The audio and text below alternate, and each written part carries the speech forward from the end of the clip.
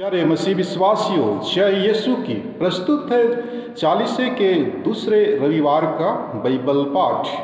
पहला पाठ, उत्पत्ति ग्रंथ, अध्याय 22 पद संख्या एक और दो से नौ और तेरह, पंद्रह से लेकर अठारह तक से लिया गया है।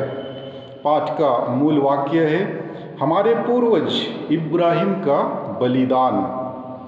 ईश्वर ने इब्राहिम की परीक्षा ली। उसने उससे कहा, इब्राहिम इब्राहिम। और उसने उत्तर दिया, मैं प्रस्तुत हूँ।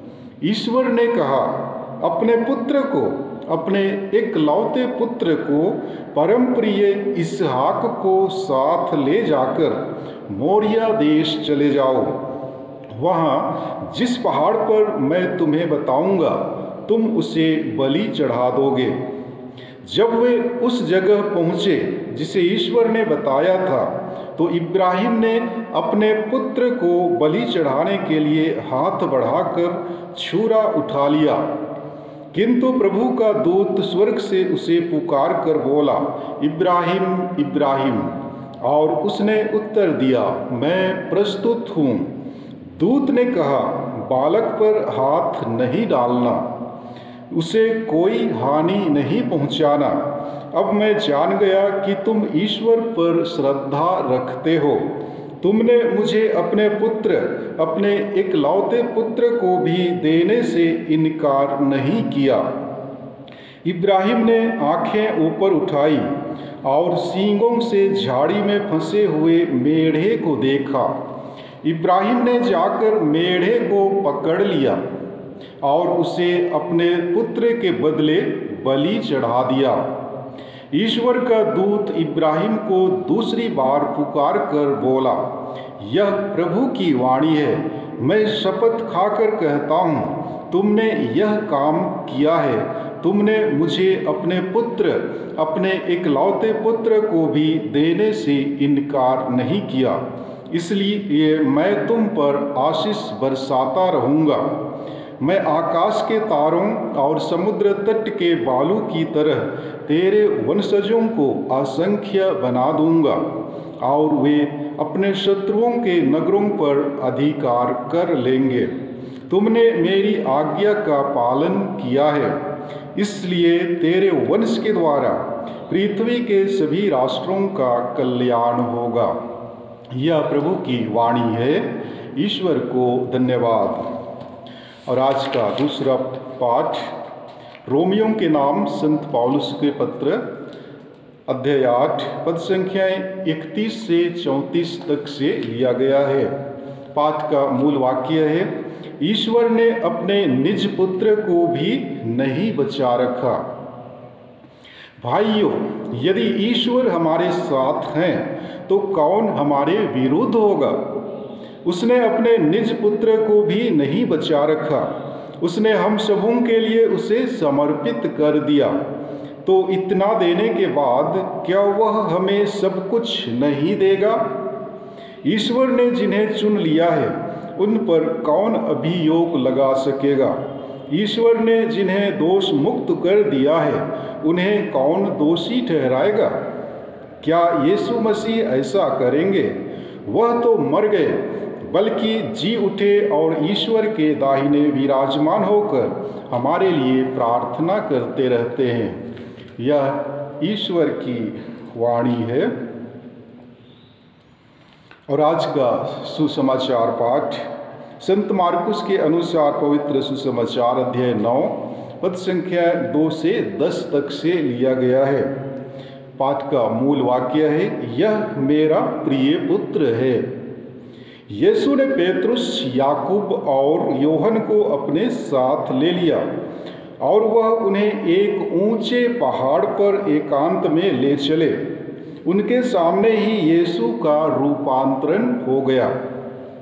उनके वस्त्र ऐसे चमकीले और उजले हो गए कि दुनिया का कोई धोबी उन्हें इतना उजला नहीं कर सकता। शिष्यों को एलियस और मूसा दिखाई दिए। वे यीशु के साथ बातचीत कर रहे थे। उस समय पेतरुस ने यीशु से कहा, गुरुवर, यहाँ होना हमारे लिए कितना अच्छा है। हम तीन तंबू खड़ा कर दें, एक आपके लिए, एक मूसा और एक एलियस के लिए। उसकी समझ में नहीं आ रहा था कि वह क्या कहे, क्योंकि वे सब बहुत ही डर गए थे। तब एक बादल आकर उन पर छा गया और उस बादल में से यह वाणी सुनाई दी। यह मेरा प्रिय पुत्र है, इसकी सुनो।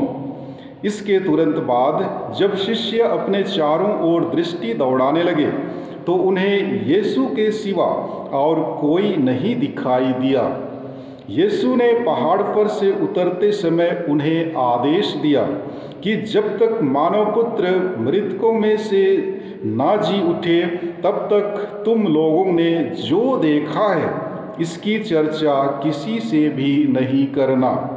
उन्होंने यीशु की यह बात मान ली, परंतु वे आपस में विचार विमर्श करते थे कि मृतकों में से जी उठने का क्या अर्थ हो सकता है। यह प्रभु का पवित्र सुसमाचार है। ख्रिस्त प्रभु की जय। प्यारे मसीह विश्वासियों प्रभु का रूपांतरण हमें आशा का संदेश देता है। यीशु के दुख भोग एवं मृत्यु के विषय में सुनकर शिष्यों की आशाएँ टूट गई थी और वे आध्यात्मिक रूप से निराश हो गए थे। लेकिन रूपांतरण की घटना द्वारा वे अपने खोए हुए साहस तथा धैर्य को पुनः प्राप्त करते हैं। महिमान्वित यीशु का अनुभव ही हमारे ख्रिस्तीय जीवन को नवीन एवं गहन अर्थ देने में मदद करता है। हमारा जीवन आशा पर आधारित होना चाहिए। प्रार्थना के द्वारा हमें ईश्वर की इच्छानुसार दूसरों के साथ संबंध स्थापित करने का साहस एवं बल मिलता है। जिस प्रकार एक छोटा सा दर्पण विशाल सूर्य को पूर्ण रूप से प्रतिबिंबित करता है। उसी प्रकार, अपने छोटे से जीवन में भी हमें यीशु का अनुभव कर उसे दूसरों के साथ बांटने में सक्षम होना चाहिए।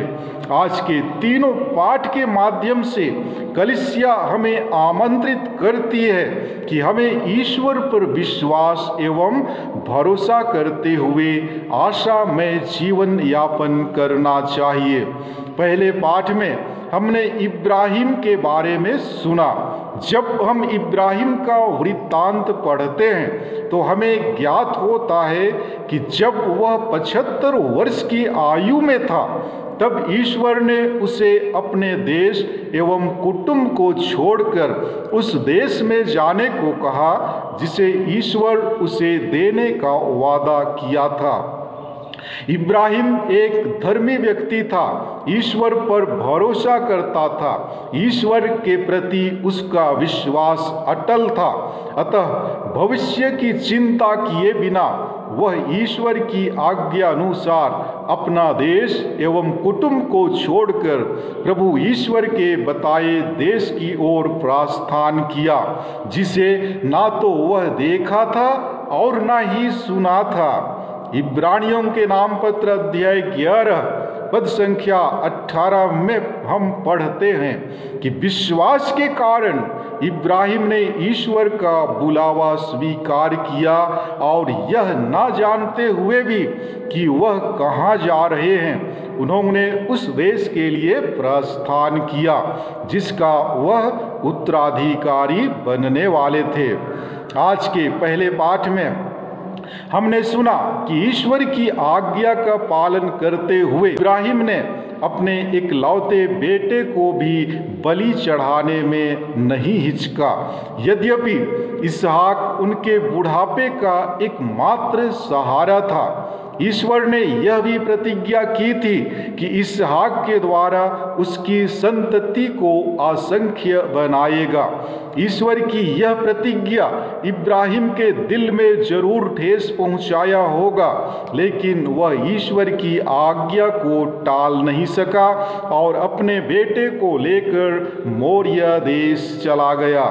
प्यारे मसीह विश्वासियों, जो ईश्वर से प्यार करता है, उसके जीवन में कई प्रकार की कठिनाइयाँ आती है। ईश्वर भक्त के जीवन में कई प्रकार की कठिनाइयाँ एवं विपत्तियाँ स्वयं ईश्वर द्वारा भेजा जाता है।